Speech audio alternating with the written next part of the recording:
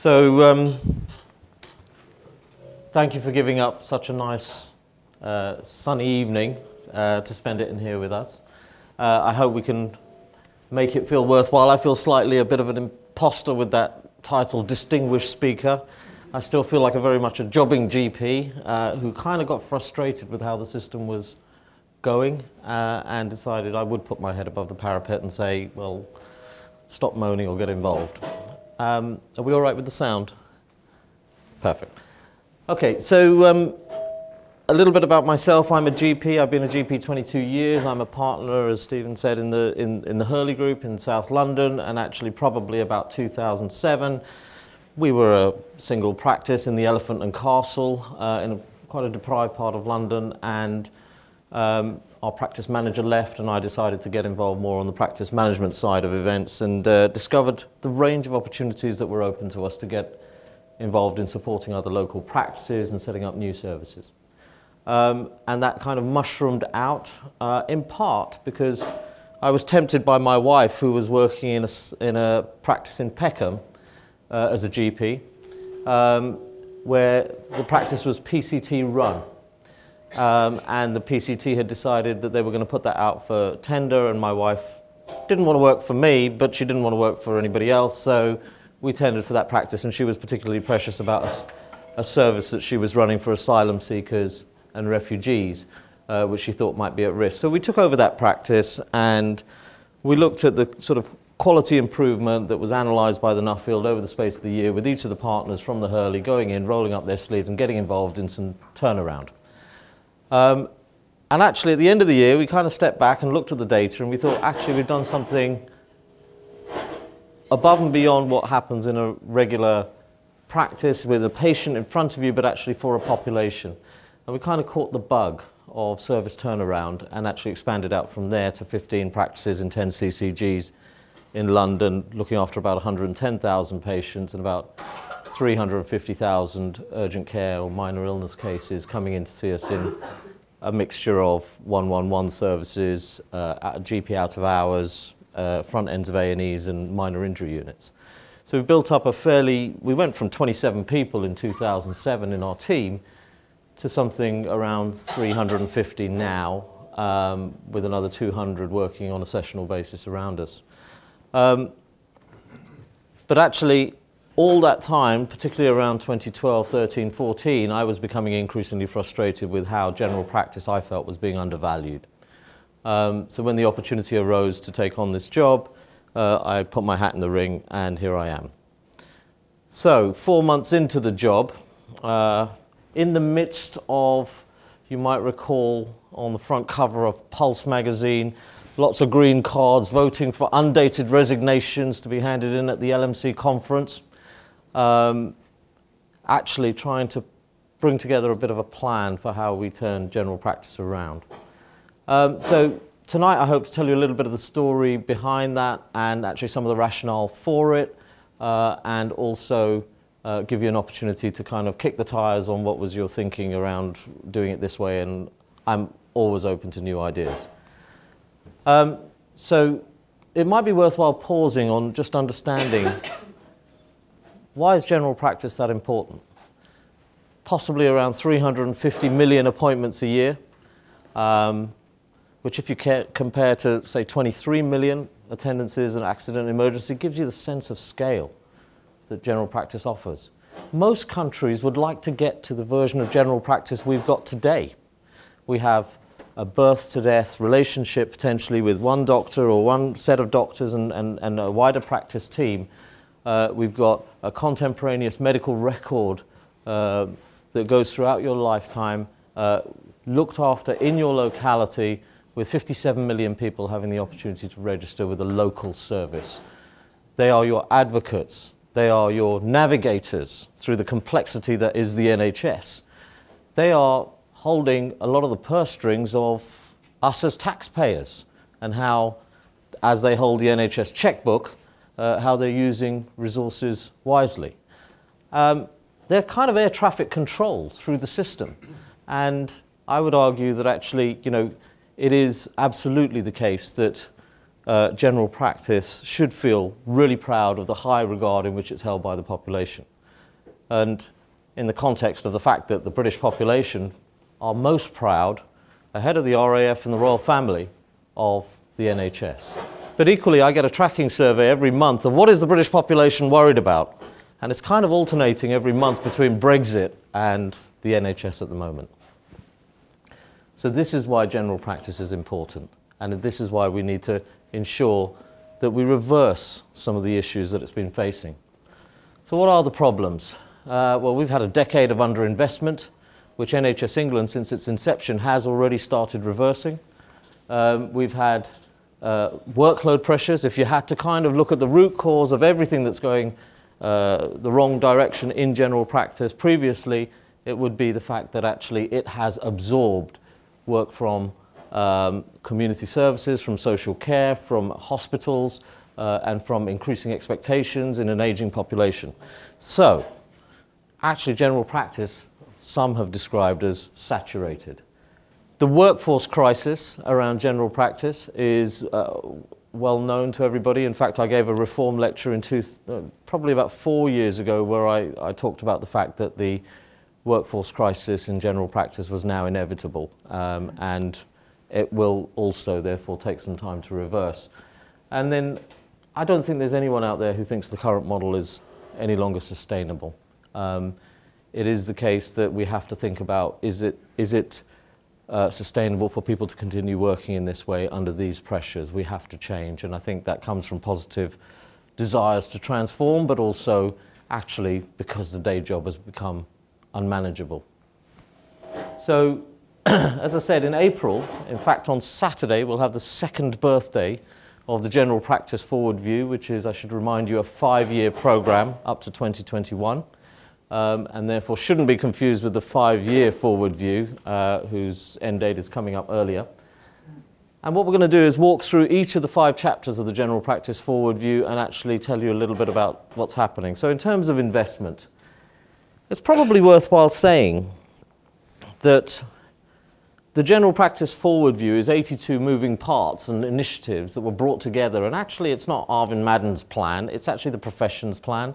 This was done after an intense period of discussions, getting everybody's ideas from all the stakeholder organisations, including the RCGP and the BMA, of what should we be doing here, guys. And everybody agreed there was no silver bullet, so we are in the territory of silver buckshot. So actually, when I collect that together and I go in and see Simon Stevens and Jeremy Hunt say this is what we think we should be doing, actually it is the case that we had to stack up the individual business cases around each of the problems that general practice was facing. So the downside, the upside of that is we secured 2.4 billion extra investment, which is a step change in the trajectory of investment in general practice um, by 2021, and that is recurrent, and we are on track to achieve that. Uh, the downside of it is because we had to do it in that slightly piecemeal fashion, it feels like quite a disjointed offer for commissioners to, uh, and providers to embed into what feels like uh, a meaningful change to the system. But this is a, a 14% real terms increase in investment in comparison to an 8% increase in investment currently earmarked for the rest of the NHS. So this is an attempt to correct the decade of underinvestment uh, that has gone into general, uh, that general practice has struggled with. Where has some of that money gone? As I mentioned, we are on track to make that investment. We're asking CCGs to stomp up £3 a head, and actually our current tracking and assurance processes around that tell us we are on track to receive that. Uh, it's gone on additional appointment capacity, so about 54% of the country today can access extended evening and weekend hours. Um, global sum was increased for payments to GPs. Uh, 30 million has gone into last year's indemnity, 60 million has gone into this year's indemnity. So practice was, practices have just received a payment of about a pound a head um, for this year. And and if I'd stood here, I don't know, even a year ago and said to you, uh, in a year's time, we will be on track, we will, we will have a state-backed indemnity scheme for general practice in, from 2019, April 2019. I think I probably would have been laughed out of the room. Um, but actually, we are now uh, working pretty bloody hard, frankly, to try and get to a point where we can uh, put that in place. Uh, whereby we want to move to a model where insurance and indemnity uh, sits at a higher level than individual doctors, which is a bit of a, you know, the indemnity issue was a bit of a lightning rod for dissatisfaction in the profession because it feels really unfair at a time when successful claims for negligence are actually going down for indemnity inflation to be hitting about 10% in routine general practice. And we all know that the costs of being an urgent care doctor, you're talking about 13,000 just to get in the game. And actually for some doctors, it, it rises substantially more. Um, so indemnity is one of the key issues that we're, we're tackling. Uh, 10 million for the winter indemnity scheme to encourage doctors around capacity for the winter uh, improvements to some of the other areas. I won't go through them all. Um, but uh, I'll just pick out the AUA. So the unplanned admissions enhanced service. I would characterize as that 157 million we moved into the global sum for general practice was an example of us moving away from a biomedical model of micro incentives to get little things to happen and boxes ticked to actually saying, okay, well, what are we actually doing for 57 million people? And can we be smarter about identifying, using something like the frailty index, who we are, you know, who we might be able to avoid over medicalizing uh, in their treatment and actually be more discerning over, uh, for example, how we target our resources on things like diabetes. It's really important to be aggressive around diabetes management when you're in your 20s, 30s, 40s, but is it in your 70s and 80s to prevent uh, long-term uh, illnesses uh, and complications, well, then you might want to take a more tailored approach. So being a bit more sophisticated in how we do things. 10 million to implement the referral system. Most people know that actually we're kind of partway through that process where half the system is paper and half the system is electronic. And if we don't get over that hump, then actually we're not much better off than if we were all paper. So actually uh, we'll move on from that dual running proposition. Uh, 27.4 million went in uh, 16-17 uh, to 2,100 practices for the general practice resilience program. And actually, we adopted a really permissive approach around how that should be used and actually changed our approach in, uh, after listening to the profession. What many people may not know is that in the ICS areas, the integrated care system areas, of which there are 10 around the country, the sort of the, the STPs that are being uh, accelerated a little bit, uh, a pound a head has gone into general practice and maturing that faster in those areas, as did into the primary care homes, which is now covering 14% of the country. I'll come back to that bit of the story. Uh, CQCs is now no longer such a, uh, a difficult issue, given that it's fully reimbursed. But actually, as I said, I think the root cause of most of our issues is around the workload we're currently asking our GPs to do. Uh, and if we start to unpack that a little bit, we need to be thinking about how we get smarter around demand management. That 350 million requests for appointments, in fact, the requests are probably more than the supply.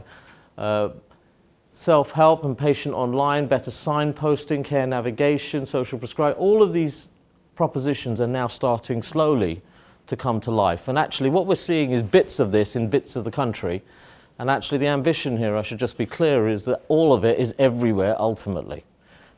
Um, open access to allied health professionals, so to give you a flavour of what that might look like, uh, we're hoping in 1819 in each of the 44 STP areas in the country to have at least a primary care network, so about a 50,000 population sized pilot around direct access to musculoskeletal services. So you don't have to go see the GP first for your knee pain or your back pain. You can go straight to a physiotherapist. Now we know that these pilots are popping up around the country already. What we want to do is work out actually what is the secret source or the blueprint for the formula that actually works so that the population can start to see these services directly without necessarily taking up a GP appointment to get there and actually industrialize that approach. So in 36 months, starting from now, we have the whole 57 million people being able to directly access musculoskeletal services without going through their GP. Which, if you ask the physio world, is 30% of appointments. We GPs in the room know that's not entirely true because that might be true if you take into account the fact that most patients, or many patients, often come in with two, three, four problems. There are also reforms happening in the 111 and urgent care space. uh, that are happening in parallel. So to give you some examples, 111 online, I'll come back to that when we talk about the digital, uh, but actually also things like uh, expanding the range of professionals who are available uh, to uh, callers when they call a, a 111 number. Um, so not just our nurses, uh, but pharmacists, GPs, mental health professionals, dentists. 8% of calls to 111 are dental. And actually getting to a point, ideally by 2021, where 50% of callers, we're currently sitting around, I think, a 30% level, where 50% of callers are able to speak to a clinician and think about the workload impact if those clinicians are able to close a higher proportion of those 15 million calls a year to 111. And we're also, there's some other things that I won't go into much detail about, but pharmacists in 111 is another great example. They're now, in many parts of the country, dealing with repeat prescription requests on the weekend. They don't go to the GP out of hours service anymore. That's the NUMSAS pilot. In the north of England, there are 35 minor conditions uh, whereby if you ring 111, um, they will make you an appointment in a local pharmacy. I think there's about 300 pharmacies involved in that pilot. But actually the plan is if that's working on the evaluation and we have to yet to kind of bottom that one out, why is that not everywhere in the country? Those 35 minor conditions represent a significant chunk of what is currently burdening GPs that may not need to in the future. What are we doing inside the practice? Well, I'll come on to increasing staff numbers, but I mentioned the resilience program, and I'll go on to the general practice development program, which I would say is bigger than maybe people realize. 30 million pounds is going into the general practice development program, which is the biggest organizational development investment in primary care anywhere ever on earth. So actually, if you're not engaged with that and enjoying the benefits of what that might bring, please do. Uh, we're investing in practice manager training and creating a network so they can share best practice and various other activities in the practice managers event, which actually has been de designed by the practice managers themselves in four uh, regional conferences. Um, upskilling staff, so some of you will be aware that um, many practices are now enjoying the benefit of GP saving on average 40 minutes a day from clinical correspondence, which used to be about 100 letters and things every day, now being down to the region of 5, 10, 15 letters a day, because actually we've got smart about how we route clinical documentation by training up somewhere in the region of 2,100 um, clinical correspondence handlers, and we're not done yet, we've only just started. The other one around that is care navigation. So we have now trained 12,000, 12,100 in fact, uh, staff in care navigation. And this again is another thing that's starting to produce capacity benefits in, in practices. Career coaching, we've had, I think, somewhere in the region of 300 GPs enjoy that benefit of 318, uh, been through career coaching, two sessions, which they've hugely valued. The feedback is exceptional. They said the course was a bit short, uh, so we're making that three sessions for the next 320 something uh, who will be who approved this year. And I know that we had about 2,000 applications for that, and we are going to look at whether we expand that proposition, particularly as actually the career intentions of those GPs who go through that career coaching uh, actually means that uh, a proportion of them are deciding to stay for longer because they've had their eyes open to other propositions that make the day feel or the week feel more sustainable through portfolio options, etc. The General Practitioner Health Service uh, this is the service that looks after doctors or is available to doctors and uh, all doctors in London and all general practitioners and GP trainees in the rest of the country. And since uh, kicking off in January, they've had contact with about 1,200 doctors, which is in one level an indictment of the pressure in the system, but at now at least those doctors are getting that support for mental health issues, addiction issues, um, and that's some difficult territory. And again, there the evidence is suggesting the support that is given is keeping these folk able to work. What can the system do to help? Well, simplify reporting and regulation. I think we've all seen the mushroom cloud of requests from all the arm's length bodies. And so, so, so actually what we need to do is try and declutter that environment. I think I went into NHS England with a view that general practitioners are possibly the most uh, scrutinized uh, professionals in the NHS. Um, and actually what we've done is we now have a concordat, which is a posh name for an agreement between GMC and NHS England and CQC to sit down and declutter the requests on EDEC. So we're not asking GPs for marginally different information several times and then uh, and we can kind of streamline that process. We all know that there are issues with the payment system. Those of you who have seen the Making Time in General Practice report, it was the number one complaint uh, of practice managers up and down the land. They're spending about a day a week chasing money from different commissioners and reconciling that. That's not okay. That's, that's time they should be pointing at patients. We need to tidy up that system, but a bigger problem than it sounds. Uh, and moving away from micro incentives I touched on already. We also need a bit of a reset in our relationship with hospitals and our acute sector colleagues. Uh, the, five, uh, the five-year forward view and the next step document talks about dissolving the boundary between primary and secondary care. We've set up a primary secondary care interface group, which is actually one of the bodies we've used to try and socialize the messaging around the changes to the standard contract. Uh, and for those of you who don't know, the standard contract between CCGs and hospitals asks hospitals to try and tidy up that whole hospital episode, uh, for example, in an outpatient. Please ensure the GPs are informed in 24 hours of what's happening uh, from A&E, from a ward. Please ensure they have enough medication. Please do the fit note if you know they're going to be off work for six weeks. Um, these are fairly straightforward things, and we're trying to make that the norm. Uh, and actually, some of you may have seen, uh, I think in the next few days or weeks, we're distributing 100 leaflets, patient-facing leaflets, uh, to help patients know what they should be expecting.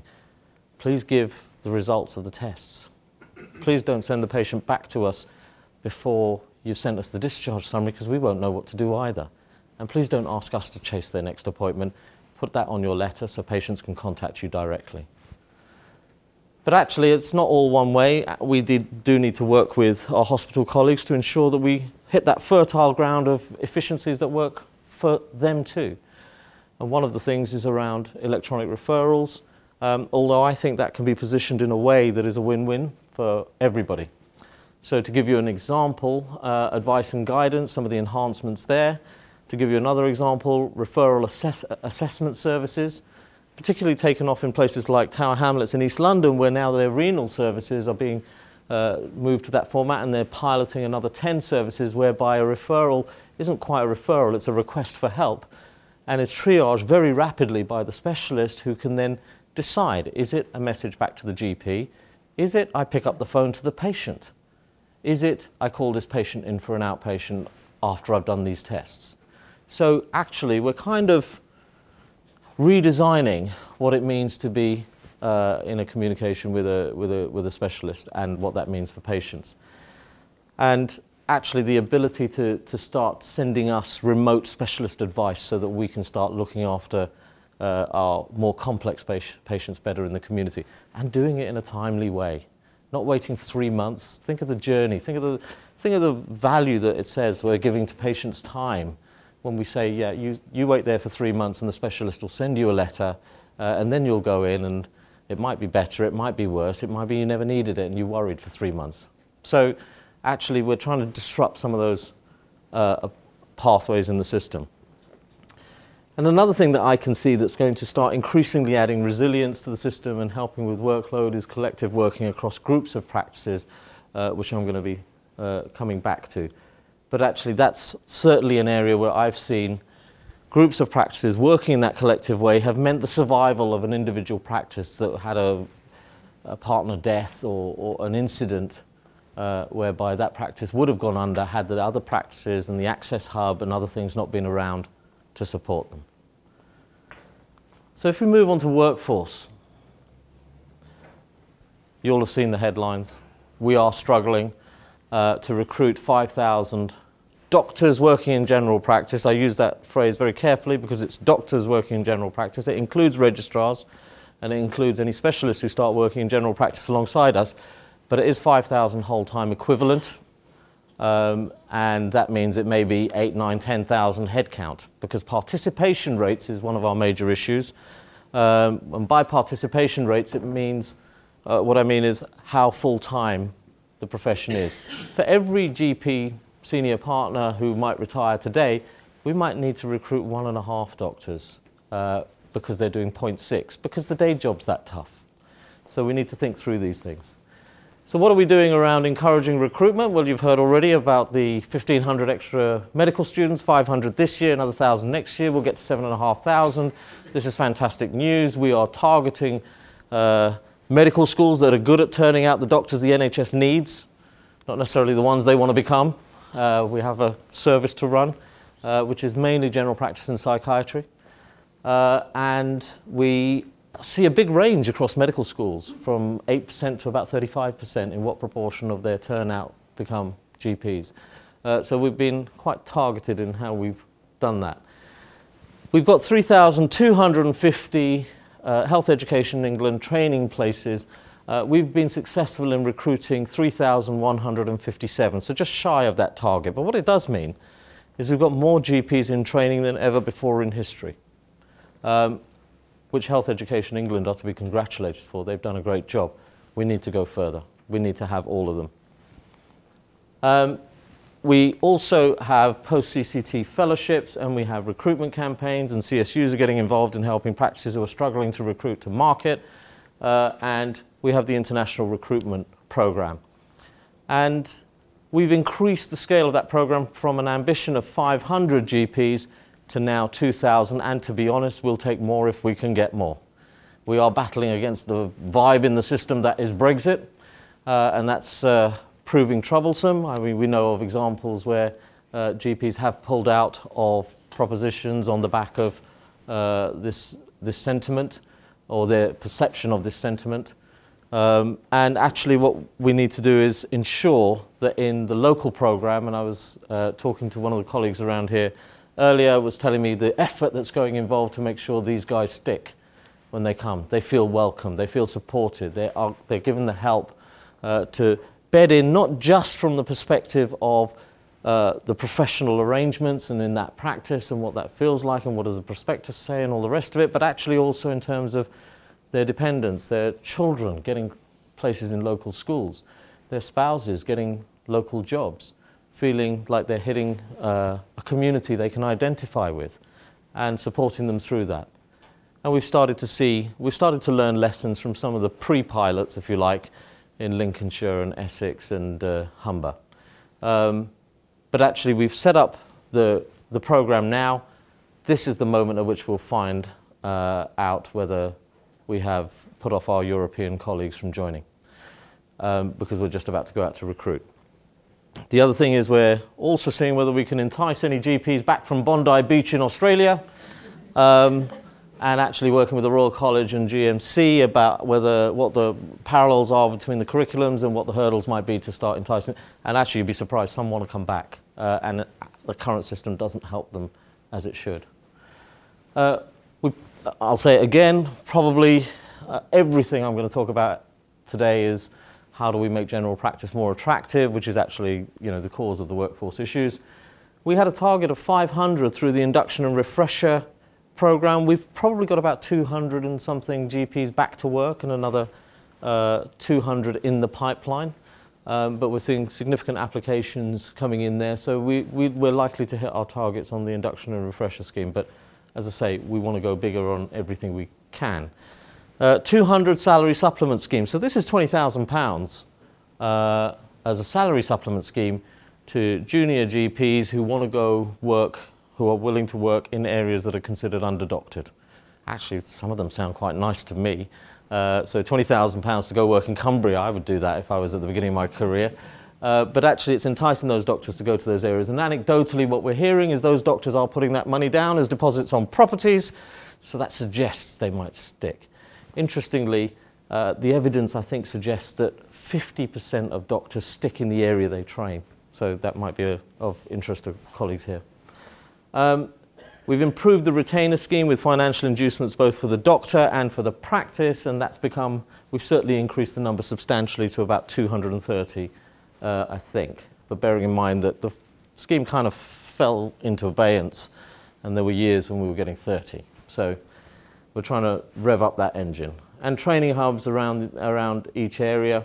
On retention, 600 career coaching places, 1,100 through the GP Health Service and 11 uh, through the GP Career Plus pilots. Now, these are pilots that actually appoint one body to hold the employment of a number of GPs within a particular geography so they can develop a relationship with a community of practices as a community of clinicians themselves and develop their own portfolio alongside that with some subsidies for some of their overhead costs like indemnity and DBS and GMC costs, etc. So an enticement to stay in a community. But actually, this is one of the things that we need to really reconsider. You know, what have we done to general practice in the space of a decade that's meant that when I wanted to be a partner, there was, you know, 20 people applying for the job, and now if you walk into a room full of juniors, you say, which of you want to be a partner? And actually nobody puts their hands up. So we are doing the partnership review and starting to think about what is what are some of the lessons, perhaps north of the border, uh, that we might learn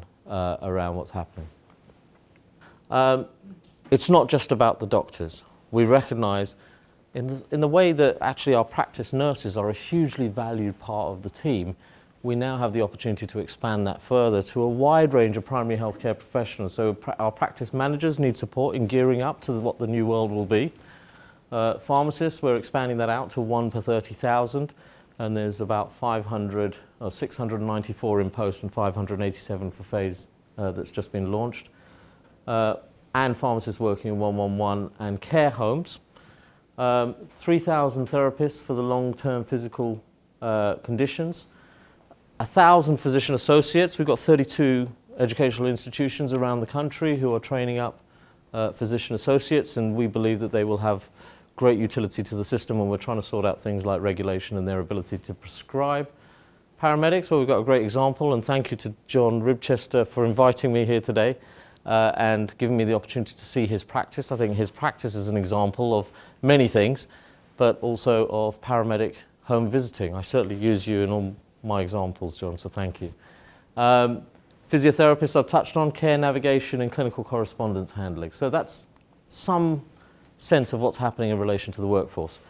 I won't dwell long on the Estates and Technology Fund, um, but we have a pipeline, a three-year pipeline of how we're going to invest, uh, and we've got 844 schemes up and running and another 868 in the pipeline. This is really hard because you put aside money to do premises and actually you overcommit uh, and you're accused of overcommitting and some will inevitably not be fundable you undercommit or you commit to the, to the and, and some fall out due to due diligence. So it's kind of landing on a postage stamp stuff. Um, but there are lots of really clever people looking at how we do this effectively. And here's an example of a practice in Coventry that's been a beneficiary. Um, technology, an 18% increase in funding, although I do accept that some of that's pointed at things that previously were paid for elsewhere.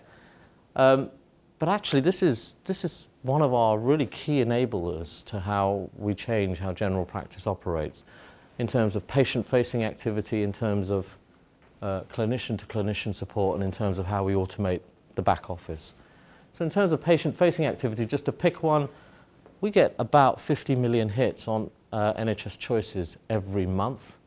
Can we honestly say we're utilising that traffic to the best ability to, uh, to actually help empower patients. Well, we're working on that in the conversion over to NHS UK and moving it into a more transactional range of offers.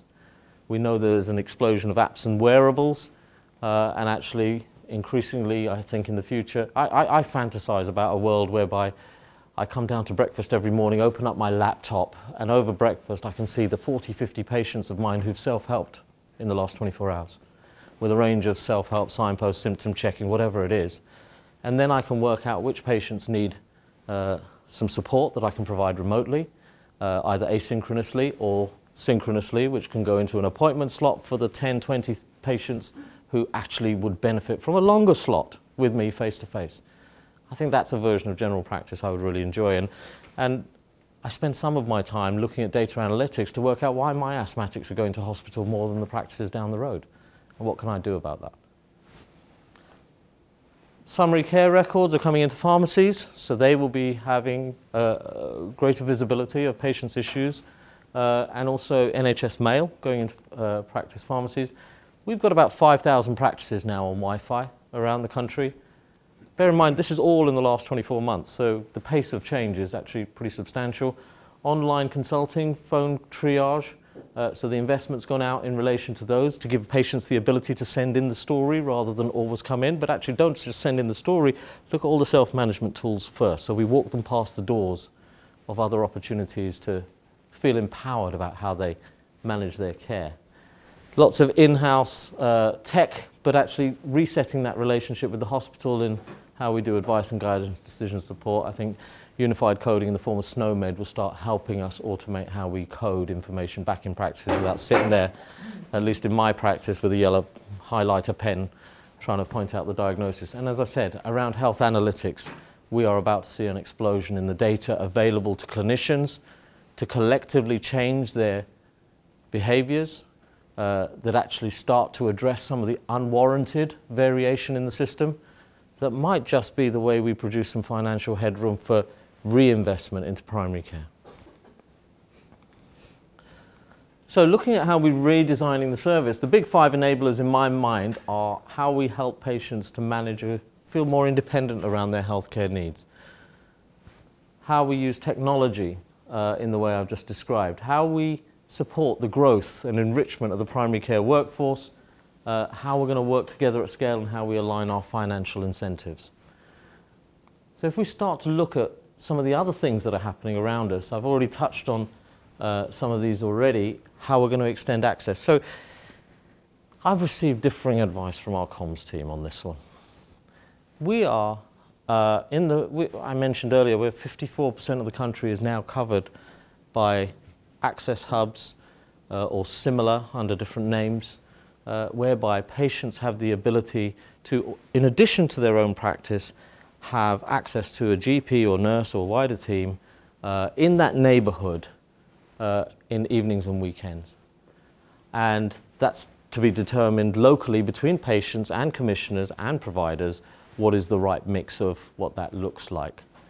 Um, but actually that has given us the opportunity to kind of scale that model out so 100% of the country, 57 million people have access to a neighborhood access hub so they can get a GP appointment. And actually, we want to give the status of that appointment almost the same as the status in the mind of the receptionist handing out the appointment as an in-house appointment in the event that it's not an appointment that requires continuity. But actually create that additional capacity of many millions of appointments in the system. Uh, and the differing advice I've been given to me by the comms team has been, Arvind, everyone's really nervous every time you talk about seven-day services. But actually, I don't view this as necessarily just better access for patients, it's more capacity for general practice. And actually, isn't that what we're trying to do when we're chasing 5,000 extra doctors, etc.? And actually, what we're discovering is about a third of those appointments are being offered in core hours. So it's an absolute direct support for patients uh, and for practitioners when they're feeling at the end of their tether and the appointment book looks like it can't get any fuller.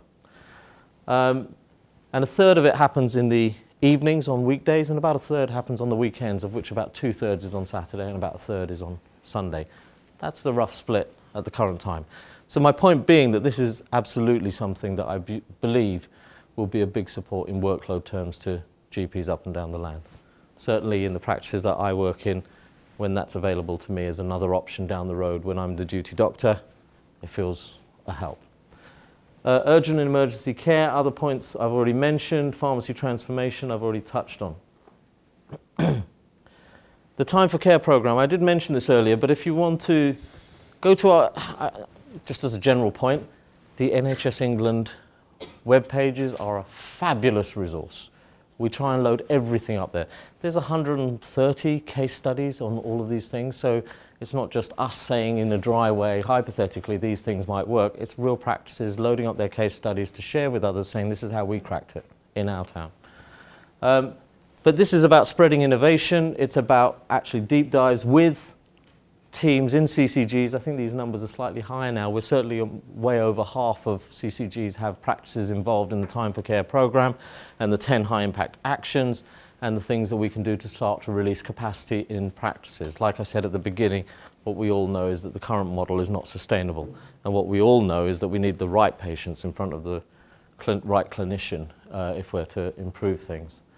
And building that capability into the system. So we've now had a thousand plus uh, primary care folk attend a six day residential course. I think it's three sets of two days, uh, whereby quality improvement techniques uh, are, um, they, they, they have training in a number of uh, facets of that, uh, and they take those back. So that actually this hopefully isn't a sort of three year program that then fades away, but actually we're training the cohort of individuals who will champion this in their areas. And there's lots of programs that sit around that. If you're a younger GP in the room, Next Gen, I advise you to look it up. There's about 350 Next Gen GPs around the country now. Uh, they're having their big conference. Simon Stevens is going to go and talk to them at the Oval in a couple of weeks. Um, this is really exciting stuff. This, this was our attempt to get to you before you got contaminated and cynical um, by the system. Um, so what we also know is that practices are starting to work together and some believe, uh, some people could give you lots of the science around why 30 to 50,000, why 100 to 150 clinicians. And they can wax lyrical about the fact that that's how many people you can know the first name of on your mobile. Uh, that's how centurions uh, happen in, in Rome. Uh, that's how uh, ape packs grow in, in, the, in their collectives. Uh, I, from my point of view, I was in Tower Hamlets in 2007. I was in a network uh, I saw that if you had four or five practices, you'd know when someone didn't show up, uh, and it would matter because you couldn't really get it done. If you were 10 practices, it was a little more tricky. Uh, so it's, it's kind of the unit that felt small enough to care and big enough to cope, and impactful on a population level of 50,000. 50, it's a unit at which um, it, you can deliver another layer of services into the system uh, that you can't do at a practice level in practical terms uh, and don't need to be in a hospital because we want patients to receive the best access to the best care close to home where it's the right business model. Um, so these are some of the things that we're organically developing in the system. But what we're now doing is, let's say, if this is the way the system has organically developed, I mentioned earlier primary care homes now covers 14% of the country, then actually why are we not accelerating this grassroots movement and giving it the support it needs to actually make it the new service delivery unit of the future?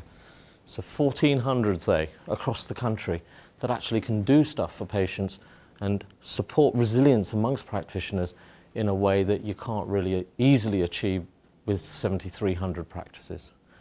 And actually, I would argue it kind of localizes and makes it real for your neighborhood of care, your community of clinicians. Um, some of the products in the general practice forward view, which kind of feel a bit over there to a lot of people. It's not a program that will work if you're passive. You have to kind of stand up. And I can see examples all the time of practices that are really extracting a lot of value from the program. But equally, I see too many practices who really have kind of expected it to come to them and it hasn't, and they're uh, understandably cynical as a result.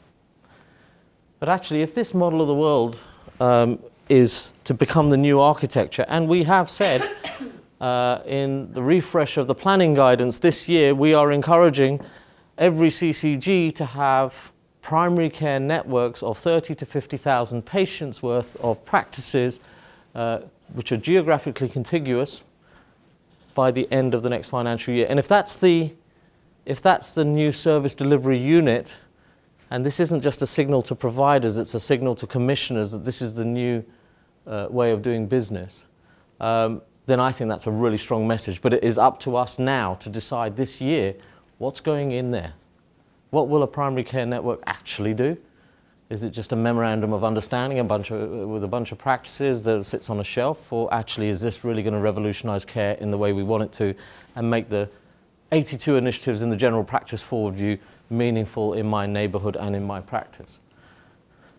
So How's it going to relate to the person? How's it going to relate to the practice? How's it going to bring together that whole primary care network and how are they going to relate to a federation? So maybe, in my mind at least, this is providing clarity to the role that federations could play in the new world. An integrator function, an aggregator function, a back office function. It might be the employer of staff working in a primary care network function. It might be the unit through which uh, we coalesce primary care networks who might decide they want to go and do something bigger around accountable care or an MCP.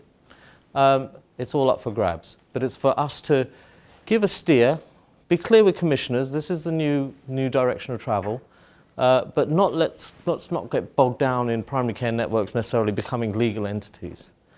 Um, it doesn't matter who employs the staff, it's the function they serve uh, for patients. So if we, for example, start to think about what primary care networks let us do, and I would largely ignore the top and bottom box. These are, these are kind of um, slightly expanded version of general practice and where we might be going with urgent care, but think about the middle box. And this isn't, this isn't me saying this is how we're going to do it. This is me trying to bring to life a range of services that might be deliverable in, in this way. Might it be the case that the new offer to the public, for example, is yes, of course, you can still see your GP through a variety of modalities. It might be online, it might be on the phone, it might be like this, you can use 111, and accident and emergencies, of course, always there. But actually, here's a whole other range of professionals, giving them the status they deserve in the system. The IAPT professional who can be seeing patients maybe directly for some issues. The, the physio or the uh, OTs, the opportunity to actually start to broaden out a suite of offers visible to the public as this is how you can do it instead of always necessarily going by your GP. Why does a woman have to wait two weeks for a GP appointment to get a form filled in to go and book in for antenatal? It's stopping in some parts of the country. What we're saying is these might be models that we can take further.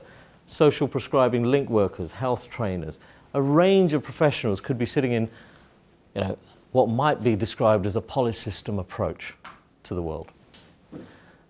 And actually, the opportunity to not just tidy up a range of existing services, we already do family planning direct, we already do uh, GUM services direct.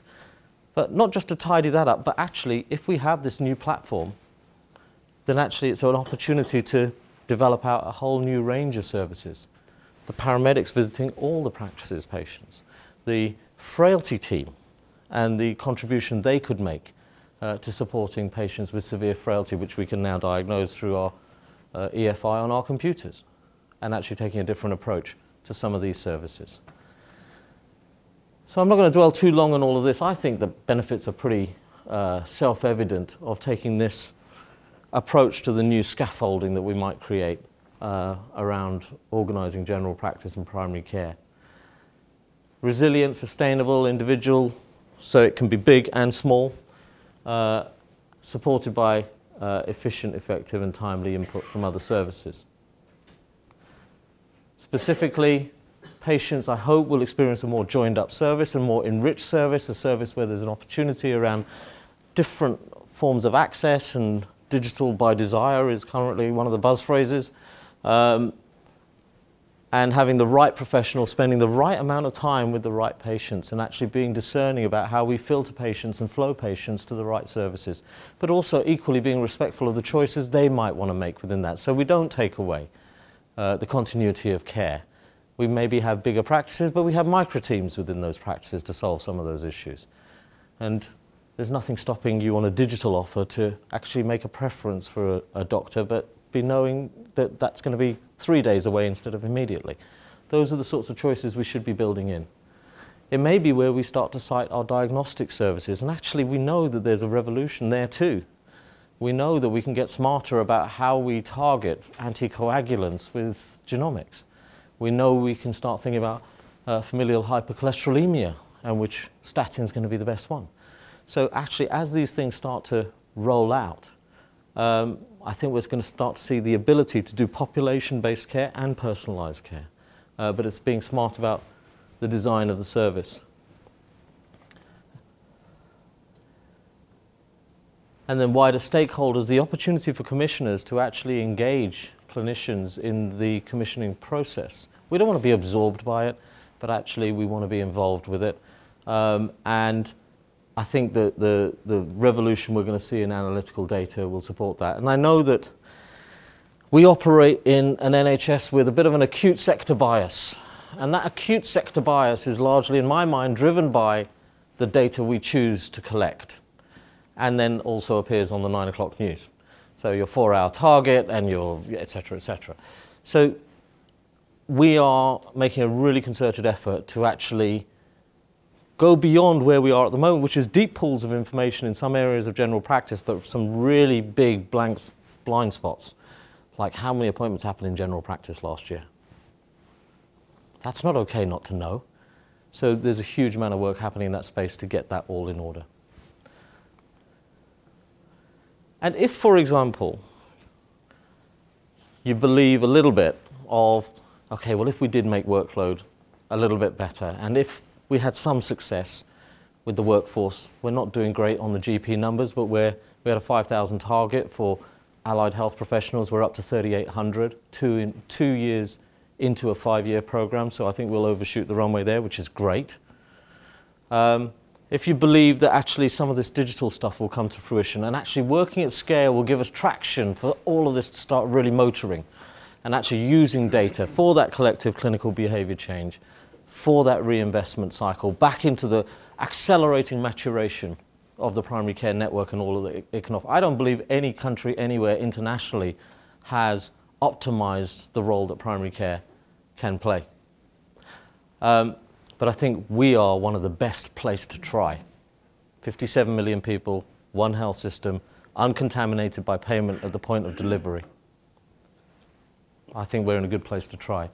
So if, for example, we had empowered patients who were able to use digital offers, where we're able to start really industrializing our approach to care navigation, a local directory of service. I know you have versions of, of this locally what we're going to do around social prescribing, how we wire up the third workforce that is currently floundering out. And we're, we're, we're rich in this country with the level of uh, voluntary sector involvement.